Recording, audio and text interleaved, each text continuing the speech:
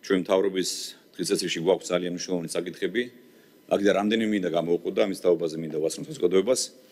მანამდე ერთგვარი მიმოხილვა მინდა გავაკეთო ჩვენი ქვეყნის ეკონომიკური მდგომარეობის. მინდა გითხრათ რომ მაღალი ეკონომიკური ზრდა გრძელდება. იანვარ ივლისში ჩვენი ეკონომიკური ზრდა არის 7.2%. ასევე მინდა ვთქვა რომ ინფლაცია რომელიც გამოწვევა იყო არა მხოლოდ ჩვენ ქვეყნის არამედ მთელი მსოფლიოსთვის ჩვენ ინფლაციას უნდა ითქვას რომ ინფლაციის დასარეგულირება დასაწევად საკმაოდ ეფექტური ნაბიჯები გადავდგით და 0.9% არის ინფლაცია აგვისტოს თვეში რაც რა თქმა უნდა არის ძალიან დიდი მიღწევა უნდა ითქვას. მაშინ როცა გამოწვევა რჩება ჯერ კიდევ ევროპაში ამერიკაში მთელს განვითარებულ სამყაროში მაღალი ინფლაცია და მაღალი ფასები. ეს ერთ საკითხი რაც მინდოდა გამომეყო მეორე მინდა ვთქვა რომ ძალიან მაღალი აქტივობა არის ზოგადად ბიზნეს სექტორში. აი მაგალითისთვის გეტყვით რომ მეორე კვარტალში ბიზნეს სექტორის ბრუნვა გაიზარდა 15%-ით და შეადგინა 48 მილიარდი ლარი და ორი კვარტალში ჯამურად 92 მილიარდ ლარს გადასცა მთელი ბიზნეს სექტორის ბრუნვა. რა თქმა უნდა ძალიან მისამებელია, იმიტომ რომ ჩანს რომ ბიზნესი მოყვება, არის უფრო მეტი ასე ვთქვათ, თავდაჯერებულობა, პროგნოზირებადობა, განჭრედადობა არის ქვეყანაში და ეს ჩვენ ყველაფერი, რა თქმა უნდა, უნდა შევინარჩუნოთ, უფრო მაღალი ტემპები უნდა გავაგრძელოთ, ასე ვთქვათ, ზრდა. ასევე მინდა თქვა შემდეგი, რაც შეეხება სამუშაო ადგილებს. აი მაგალითად გეტყვით, რომ მეორე კვარტალში ბიზნეს სექტორში სამუშაო ადგილების რაოდენობა გაიზარდა 42000-ით და შეადგინა უკვე 730000 რაც რა თქმა უნდა ძალიან მისამნებელი. აქვე მინდა აღნიშნო, რომ ზოგადად უმუშევრობის დონე არის ისტორიულ მინიმუმზე ჩამოსული, სიგარების დონეც არის ისტორიულ მინიმუმზე ჩამოსული და ქვეყნის რეზერვები არის ისტორიულ მაქსიმუმზე. 5.5 მიათედი მილიარდი დოლარი არის ქვეყნის ეროვნული რეზერვები. ეს ნიშნავს იმას, მეგობრებო, რომ ქვეყანა ძლიერდება, ვითარდება, დიდრდება და მას ჭირდება შენარჩუნება. ეს რა თქმა უნდა შემთხვევით არ მომხდარა, ეს არის ჩვენი სწორი პოლიტიკის შედეგი. და რა თქმა უნდა ამ ყველაფერს ჭირდება შენარჩუნება და კიდევ უფრო მეტად გაძლიერება. ამ ტემპებს ჭირდება შენარჩუნება და კიდევ უფრო გაძლიერება, მინდა კიდევ ერთხელ გავიმეორო. ასევე მინდა უთხრა საზოგადოებას, რომ ჩვენ მაქსიმალურად გავაკონტროლოთ ინფლაციის დონეს, როგორც მოახსენეთ 0.9%, 19% არის ინფლაცია და ეს ნიშნავს იმას, რომ ეროვნული ბანკის მიერ დადგენილ მიზნურ მაჩვენებელს 3%-ს ქვემოთ ნაჩვენდება ინფლაციის დონე. ფასები როგორც როგორც არის მაგალითად საწვავი მედიკამენტები, სურსათის ფართო მოხმარებადი პროდუქტები არის ამ პროდუქტებზე დაკლებული ფასები, ამათ ჩვენ რეგულარულად შევამოწმებთ. მე რამდენიმე დღეს იმქონდა საუბარი კონკურენციის სააგენტოს ხელმძღვანელთან, მასაც მიმართეთ ხოვნით რომ კიდევ ერთხელ ასე ვთქვათ შეამოწმოს თუ რამდენად კეთის ინდექსიერად მიმდინარეობს ამ ზოგადად მარჟები დაცება ძირითადად მოხმარებად პროდუქტებზე. ასე რომ ჩვენ ამ საქმიანობას გავაგრძელებთ კოორდინებულ მოქმედებას ეროვნულ ბანკთან ერთად. და რაც შეეხება სხვა საკითხებს მინდა ასევე აღნიშნო რამდენიმე ძირითადი საკითხი. პირველი მინდა გამოყო რთველი და რთველის მიმდინარეობა. მოგესალმებათ რომ ჩვენ რამდენიმე კვირის წინ შევიკრიბეთ ჯერ კიდევ მაშინ განვაცხადეთ რომ სუბსიდია შევინარჩუნებდით. და ასევე ვთქვით რომ დაზიანებულ ყურძენს სახელმწიფო ჩაიბარებდა 90 თეთრად ახლა ვიცით რომ რამდენიმე დღის წინ საკმაოდ ძლიერი სიტყვა მოვიდა კახეთში და ის სიტყვა ვენახები ხალხსთან გამზდებული ქონდა ყურძენი ჩასაბარებლად და სამწუხაროდ ეს სიტყვა მოვიდა მაგრამ ამის მიუხედავად მინდა კაფიოდ განმაცხადო და დავამშვიდო ჩვენი ძვირფასი მოქალაქეები რომ არც 1 კილოგრამი დაზიანებული იქნება დასეთქული თუ ჩაოლებრივი ყურძენი არ დარჩება ჩაუბარებელი. სახელმწიფო ჩაიბარებს 90 თეთრად მათ შორის დასეთქულ ყურძენს. ეს მინდა კაფიოდ მეთქვა.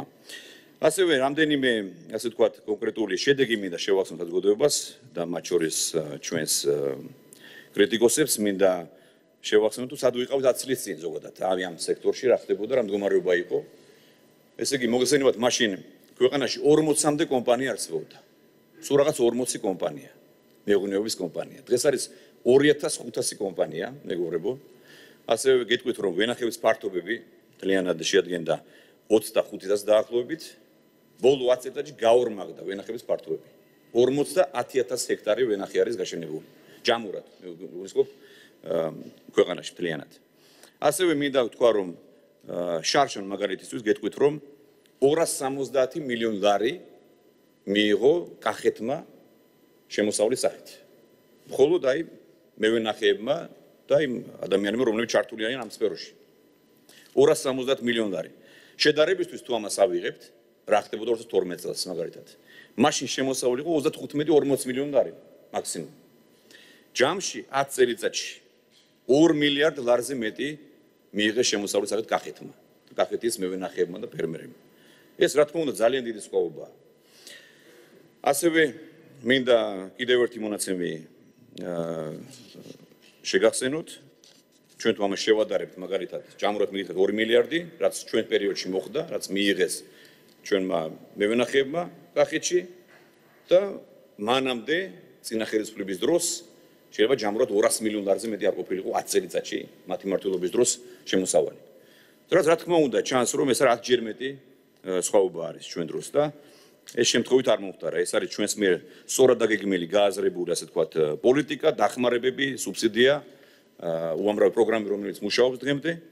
ასევე მინდა მაგალითად შევახსენო ჩვენს საზოგადოებას, უბრალოდ საზოგადოებას რომ აუცილებელი არის კიდევ ერთხელ მინდა მოუწოდო ჩვენს მევენახეებს. აუცილებელი არის აგროდაზღვის პროგრამაში ჩართულობა.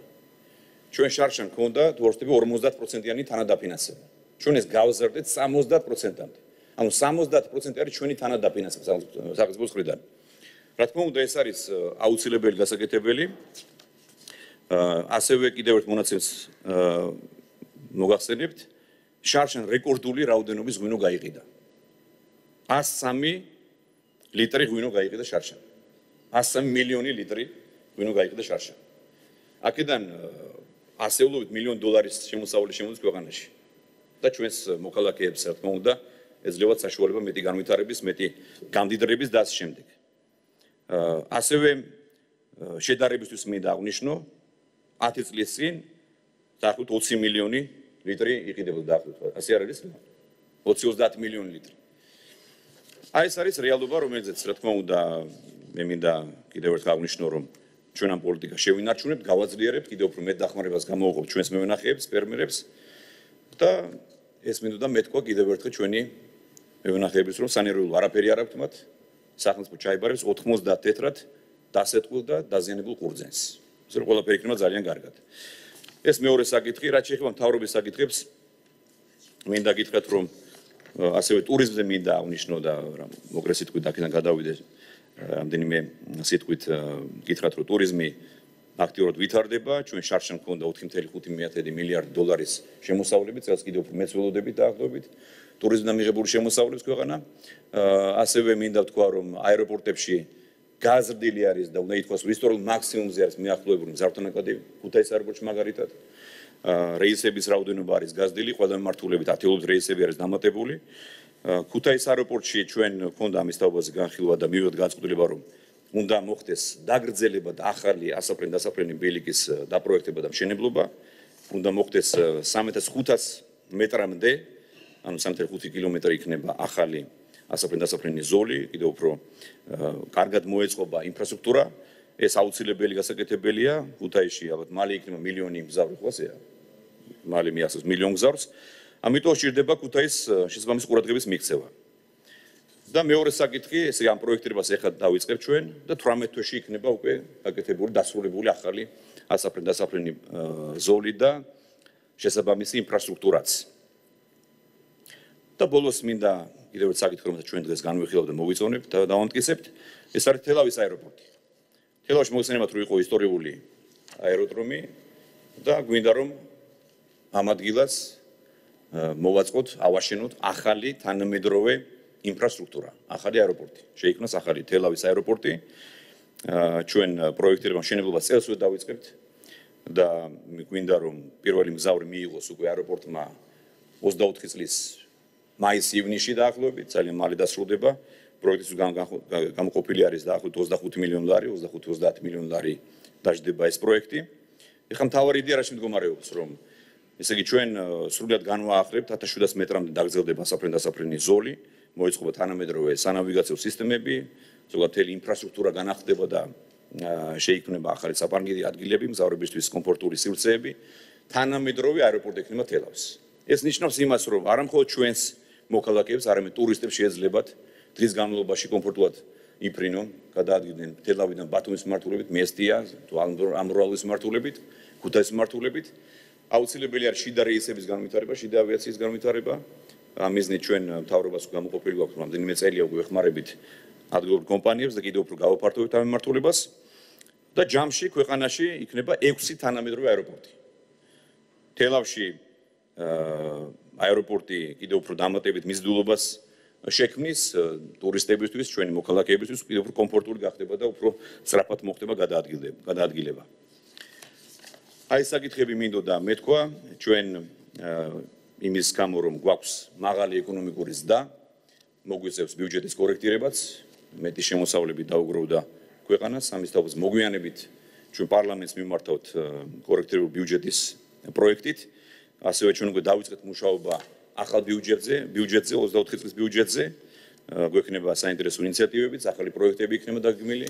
სხველი პროექტების დაწყება არის დაგეგმილი, როგორც არის ანაკრიის პროექტი, ანაკრიის სპორტის პროექტი, ასევე ახალი აეროპორტის პროექტირება და მშენებლობა გვინდა დავიწყოთ. დიდი პროექტების შესაძლებლობის მშენებლობა გვინდა რომ ჩვენი თანამონაწილეობით დავიწყოთ, როგორც არის ხუდონი, ასევე ნამახვანზე მიდის მუშაობა. ნესკრაზე ჩვენ გავედით ბოლოში და უკვე მემორანდუმი გაფორმებულია. ჩვენ ველოდებით რომ წლის ბოლოს მაქსიმუმ 24-ში განახდება სამუშაოები კადგილზე. ასე რომ ეს არის ჩვენი გეგმა. მეგობრებო, ეს ამაჩირდება შენარჩუნება, შვიდობის, სტაბილურობის, რასაც მოაქვს მეტი კეთილდღეობა. ეხლა რა შეიძლება ბოლოს საკითხს მინდოდა რამდენიმე სიტყვით მეც გამეკეთებინა კომენტარი ქალბატონი პრეზიდენტის გადაწყვეტილებაზე რომ მან სამწუხაროდ უნდა ითქვა სამწუხაროდ არ გაითორისინა მთავრობის მიერ გაგზავნილი უარი და მან დემონსტრაციულად დაარღვია კონსტიტუცია. მოგესალმებით რომ კონსტიტუცია განმარტავს რომ საგარეო პოლიტიკას, საშინაო პოლიტიკას და საგარეო პოლიტიკას ახორციელებს საქართველოს მთავრობა. და თუ პრეზიდენტს ასე თქვას მიანიჭებს მთავრობა უფლება მოსილებას მხოლოდ მაგ შემთხვევაში შეუძლია მას პრეზიდენტს რომ ეს უფლებამოსილება შეასრულოს და განახორციელოს. მე ერთი თვის წინ დაახლოებით გავუგზავნე ოფიციალური უარი ამ ვიზიტებზე და აქვე მინდა ჩემი არგუმენტაცია, ჩვენი არგუმენტაცია, მთავრობის არგუმენტი კიდევ ერთხელ მოვიყვანო. თქვენ გახსოვთ კარგად, რომ რამდენიმე თვის წინ ქალბატონი პრეზიდენტი გამოვიდა საჯაროდ და მან თქვა, რომ საქართველოს ხელისუფლება არასრულებს ვალდებულებებს, რომელიც არის საცებული მეგობრებს 12 რეკომენდაციას და ასევე მან თქვა ყველაზე მეტად შემაშფოთებელი რომ საქართველოს საქართველო არ იმსახურებდა კანდიდატის სტატუსს შარშა.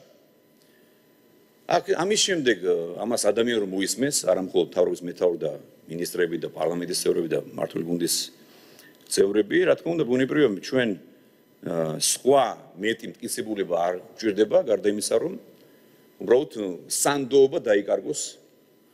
და რა თქმა უნდა ჩვენ არ ქონდა არავითარი мотиваცია რომელსაც ვიტყოდი არა გაუმართლებელი იქნებოდა ჩემი მხრიდან ამ განცხადების მოსმენის შემდეგ მისთვის რაღაც გაერგარგული უფლებამოსილების დელეგირება.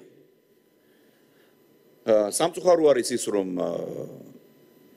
საქართველოს პრეზიდენტი არ გოს კანონს დემონსტრაციულად ამ დროს ჩვენ უნდა ვიყოთ მაგალითად მიცემი ზოგადად როგორც თავარი კანონის დამცველები არამედ ზოგადად თლიანად კანონის დამცველები ჩვენ უნდა ვიყოთ და ჩვენ მივიცეთ მაგალითის ხვებს.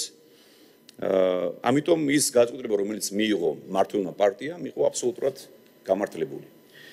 დაქვე მინდა ჩვენ საზოგადოებას მივმართო და კიდევ ერთხელ შევახსენო. თუ გახსენდებათ რომელიმეს მაშინ რაც მოისმინეს პრეზიდენტის განცხადება რომ ქვეყანა თურმე არ იმსახურებდა სტატუსს ვინმეს შეშფოთება, ვინმეს აღშფოთება, ვინმეს კრიტიკა, არაიმე პროტესტი. ამიტომ ეს ყველაფერი შემწვარის მეგობრებო ძალიან მარტივად ასახსნელი. ფარისეულობა ეს არის ტყუილი ეს არის დამამცირებელი და შეურაცხყოფელი ჩვენი ხალხისთვის. აი ასეთი დამოკიდებულება ჩვენი ხალხისთვის. და ასეთი ვაჭრობა და ასეთი შანტაჟი ვასრულებ თუ არ ვასრულებ ამ ვალდებულებას ასეთ რთულ გეოპოლიტიკურ ვითარებაში რომელშიც მთელი მსოფლიო იმყოფება. და ჩვენმა პატარა ქვეყანამ მოახერხა ის რომ ჩვენი სწორი გონივრული პოლიტიკით თავიდან ავირიდეთ დიახაც მეორე ფრონტი ომი უბედურება და ნგრევა ვასრულებ და შევასრულეთ 12-ვე რეკომენდაცია, მაქსიმუმს ვაკეთებთ. ჩვენ გვაქვს მუდმივი კომუნიკაცია ჩვენს ევროპელ კოლეგებთან, ჩვენ რამდენიმე დღეში ველოდებით ბატონ ბორელის, რომელსაც კიდევ ერთხელ ჩვენ გადავცემთ განახლებულ ინფორმაციას თუ სად ვიმყოფებით ზოგადად ამ 12 რეკომენდაციის იმპლემენტაციის პროცესში. დღეს მაგალითად გეტყვით რომ ერთ საათში გვექნება ჩვენი ევროინტეგრაციის უწყებაჩულისი კომისია, სადაც ასევე განვიხილავთ და მოვისმენთ კიდევ ერთ უწყებებისგან განახლებულ ინფორმაციას თუ როგორ მიმდინარეობს ზოგადად ეს პროცესი ევროინტეგრაციის. ასე რომ ყველაფერი არის ძალიან კარგად.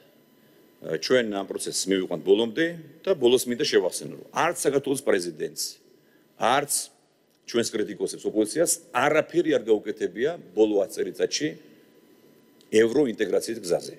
ყველაფერი არის ექსკლუზიურად ქართული ოცნების დამსახურება. ავსტრიაში დახმება, თავისუფალი ვაჭრობა, უვიზო რეჟიმი და ევროპული პერსპექტივა. ახლა მე მჯერა რომ ჩვენს ევროპელ მეგობრებს აა ეკნებათ საკმარისი მეტი არგუმენტაცია იმისთვის რომ ქვეყანას მიანიჭონ დამსახურებული სტატუსი. აი ეს მინდოდა მეთქვა. დიდი მადლობა.